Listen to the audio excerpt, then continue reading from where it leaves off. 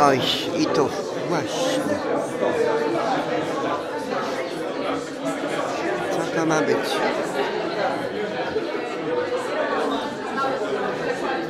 Oj.